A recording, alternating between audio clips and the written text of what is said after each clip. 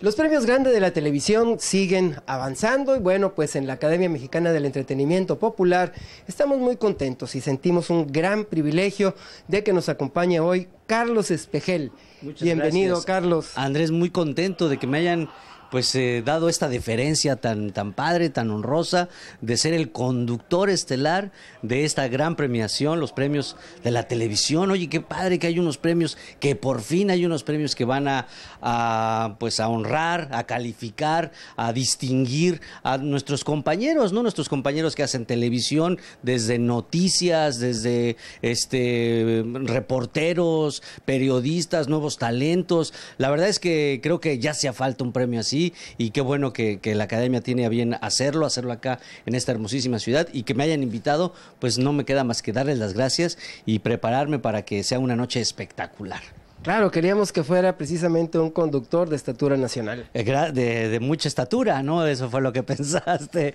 Y sí, la verdad es que sí, eh, estoy ya puesto, traigo zapato de tacón alto para, para, para, estar a la altura de las circunstancias. Creo que va a estar muy, muy, muy bien, muy divertida, muy entretenida y bueno, pues premiando a lo mejor de la televisión.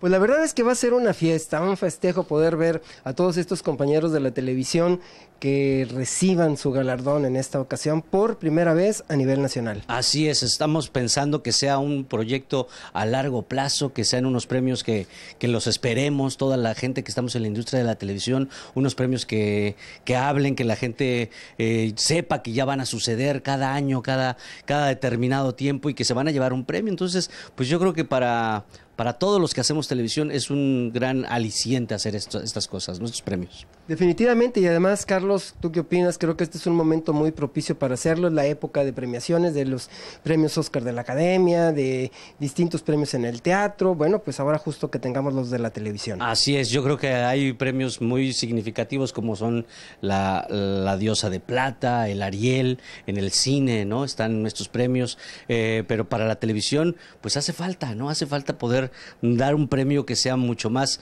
incluyente, que incluya a todas las televisoras, que incluya a toda la gente que estamos en esta industria y que se dé este reconocimiento y que además sea una fiesta, una fiesta porque a los amigos que hacen televisión es muy difícil verlos, ¿no? Cada quien está en sus cosas, cada quien está haciendo y esto pues nos va a unir más, nos va a hacer eh, más amigos, ¿no? Y vamos a hacer una, una gran celebración. Carlos, muchísimas gracias por aceptar esta invitación de parte de la Academia Mexicana del Entretenimiento. Felicitaciones por ser el primer conductor Así en es. la historia de los premios grande en tener la responsabilidad de sacar adelante este evento. Es, es para mí un, un, honor, una enorme, una enorme responsabilidad y la asumo con muchísimo gusto, con mucho cariño. Agradezco que, que el público y tú me hayan pues eh, seleccionado para hacer este enorme eh, reto y vamos a enfrentarlo con mucho gusto, con mucho cariño y yo estoy seguro que nos va a salir muy bien, que, que se va a repetir la ocasión.